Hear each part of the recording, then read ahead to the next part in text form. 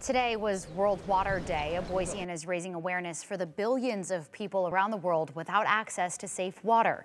Dallas Crum is walking 105 miles while carrying 42 pounds of water in two five-gallon jugs. You know, I've carried a five-gallon bucket of water and it feels heavier than eight pounds. Oh, yes, it's absolutely. A lot. He says the 105 miles represents the distance many women and children walk each month in order to bring clean water to their families.